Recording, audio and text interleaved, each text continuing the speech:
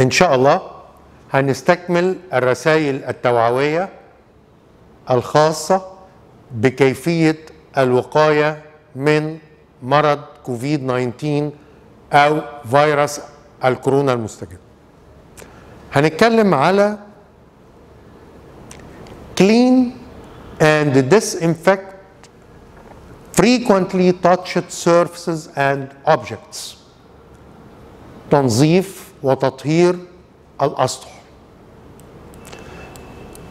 الجزئية دي جزئية مهمة لأن زي ما سبق وقلنا قبل كده دي واحدة من طرق انتقال العدوى إنك أنت حضرتك to touch contaminated surface and then touch your eyes nose and mouth. دي أحد طرق انتقال العدوى عشان كده إحنا دايما عندنا رساله avoid touching your eyes nose and mouth and clean frequently touched surfaces and objects and clean your hands with soap and water frequently دي دي دي دي رسائل دايما بنقولها لعامه الناس يبقى احنا هنتكلم سبيسيفيكالي على تطهير وتنظيف الأسطح.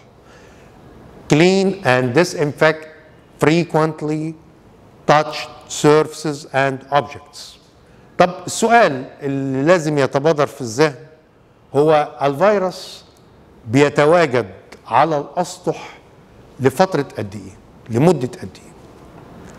هو اتعملت دراسه اتنشرت في ال New England Journal of Medicine الدراسة دي آه يعني كانت بتتكلم على إنه آه آه بيفضل كايريسول في ال air for up to 3 hours ولكن دي مش ال main route of transmission ال main route of transmission از through droplet infection and it's not an airborne. وال WHO قالت رأيها في القصة دي.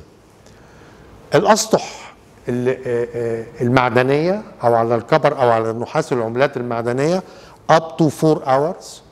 على الكراتين up to 24 hours.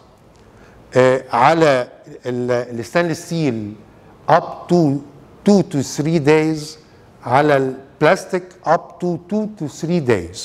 طبعا دي دراسة. ووارد إن في المستقبل تبقى في دراسات أخرى تتكلم في هذا الشأن. طيب.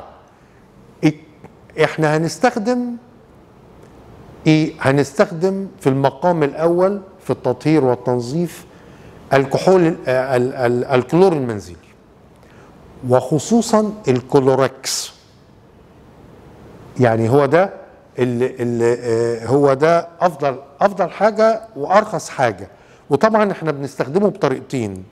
بنستخدمه لتنظيف الأرضيات وهنا في الحالة دي تركيز الكلور بيبقى مقدار من الكلور آه آه أمامه تسعة مقدار من المية وبنستخدمه لتنظيف الأسطح آه وفي الحالة دي بنحط بنجيب لتر مية بنسحب منه 20 سم نحط مكانهم كلور يبقى ده التركيز اللي نستخدمه عشان تطهير وتنظيف الأسطح.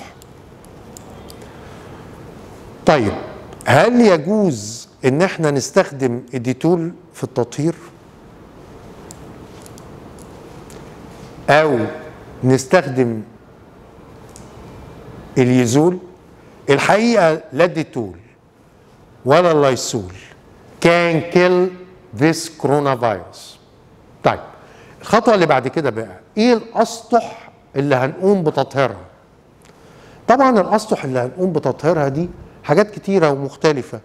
يعني الاكر بتاعه آه الأبواب أو باب الشقة الحنفيات الموبايلات والتليفونات على وجه العموم الترابيزات ال credit card terminals اللي هم ماكينات صرف اللي هي بتاعت ال ATM في المولات أو في المطارات العربيات ال stainless steel اللي بيتحط عليها ال- البضاعة أو الكلام ده. ال car door handles زي ما يكون واحد مثلا بيركب عربيته أو بيركب تاكس أو الكلام ده. آه، آه، آه، الصناديق الم- المهملات دي كلها دي حاجات المفروض إن الأسطح دي تتطهر. يعني وطبعا يعني الموبايلات دي مهمة خالص. يعني شيء مهم قوي إن إحنا ناخد بالنا منه بالإضافة آه، للسيرفيسز المختلفة. طبعا برضو الأسطح يعني مثلا في المطابخ مثلا على سبيل المثال الاسطح دي برضو محتاجة إنها تتطهر وتتنظف. لو جينا نبص لدورات المياه آه، وخصوصا لو كان ده في مكان عمل أو في مكان آه، عام. الحقيقة دورات المياه دي يعني آه، الحنفيات ال ال ال ال العلبة بتاعت المنشفة ال- ال basket ال- الفواطة القاعده بتاعت ال combination أو الغطا الز- آه، آه، ال- والزر بتاعها اللي بيضغط عليه اللي موجود فوق ده. يعني الحقيقة يعني ده مكان كل قطعة فيه وارد إنها تبقى طريقة آه، وارد ده هايلي تاتشد سيرفس كمان في مشكلة تانية في أماكن العمل. يعني و و والناس اللي بتتردد على أماكن العمل دي لازم تاخد بالها كويس قوي. لأنه آه، زي ما قلنا الأوكر بتاعة الأبواب ال- ال keyboard وخصوصا لو كان بيشتغل عليه أكتر من حد الحنفيات تليفونات أو الموبايلات الماوس.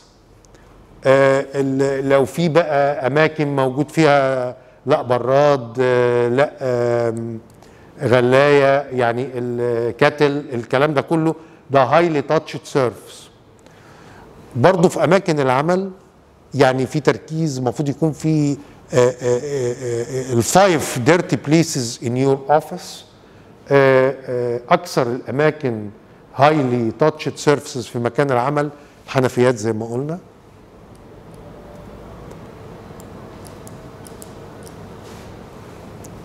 آه، بعد كده لو في مايكروويف في المكان آم، الماوس ال- ال- ال keyboard آسف.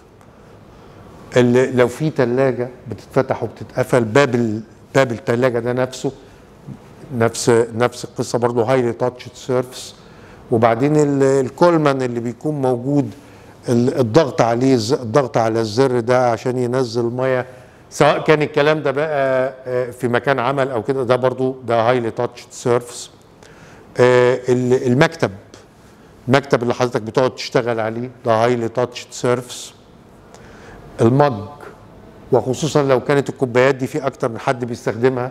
ده highly touched surface زي ما قلنا ال keyboard وال mouse.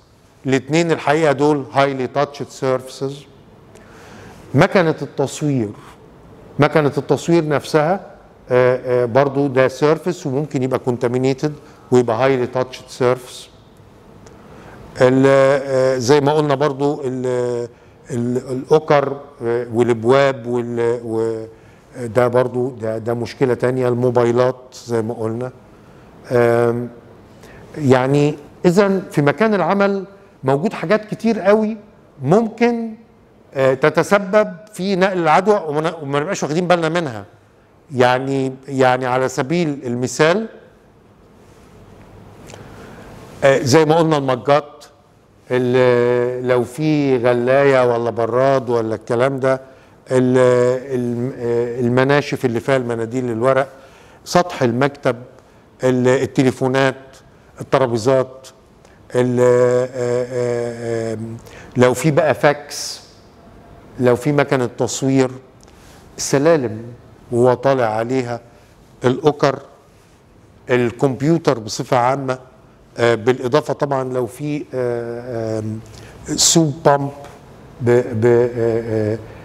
في في في بعض الأحواض بيبقى موجود جنبها مكان بتضغط عليه علشان يطلع لك وخصوصا في الفنادق عشان يطلع صابون أو الكلام ده. ده برضو التواليت آه، لو في آه، مايكروويف آه، يعني برضو ال- الحنفيات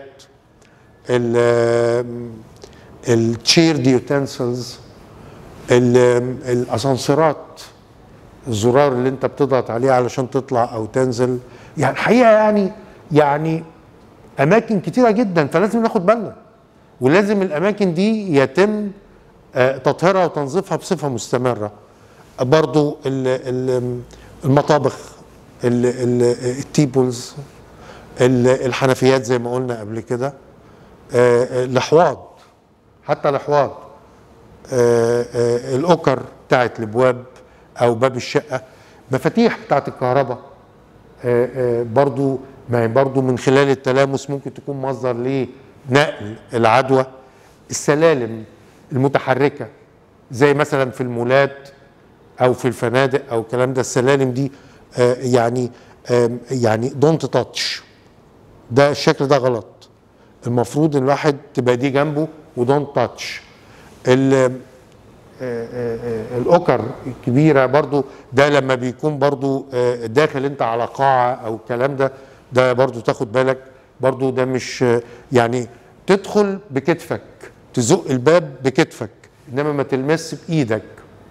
لو أنت موجود في وسيلة مواصلات لو موجود مثلا في مترو لو موجود آه، في أتوبيس كل كل القوائم المعدنية دي وارد إنها تبقى contaminated ده مش بس كده كمان. ده العلقات اللي موجودة فوق دي حضرتك لما بتيجي تلمسها أنت لو إيدك contaminated برضو هتبقى طريقة لانتقال العدوى. فبرضو ده آه، غير مستحب. الرسالة بتاعتنا don't touch.